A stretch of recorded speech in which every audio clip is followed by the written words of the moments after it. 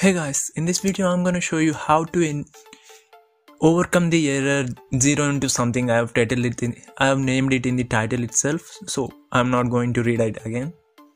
Just the error means to enable a feature which is not enabled right now. As I have already enabled and disabled it, it is showing me to directly enable the virtualization. Yes, the error itself means to enable virtualization not from turn features turn windows features on and off but you need to go into bios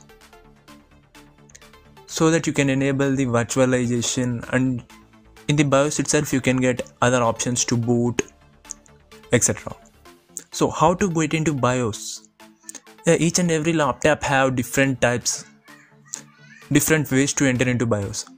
As mine is hp i'm going to search for hp you can search it for on the internet just press F10 key while you as soon as you power on the your laptop.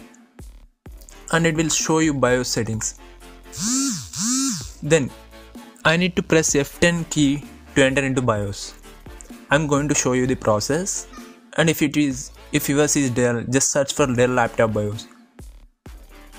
How to access it etc and now I'm gonna show you how.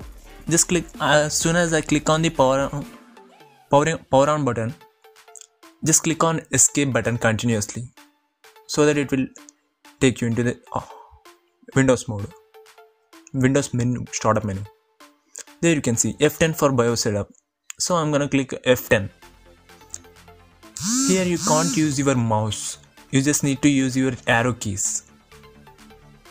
Here you have all the system startup options too check on. You have security options. You just need to click on arrow keys. By clicking right security configuration boot options exit etc you need to go to configuration options.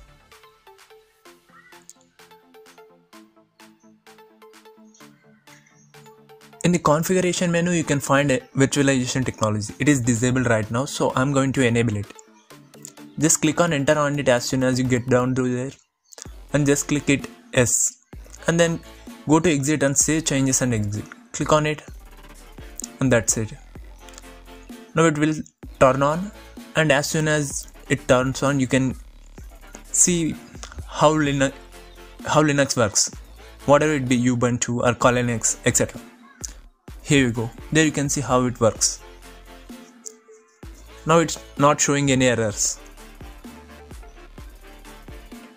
you need to create a username etc it all works like a normal way.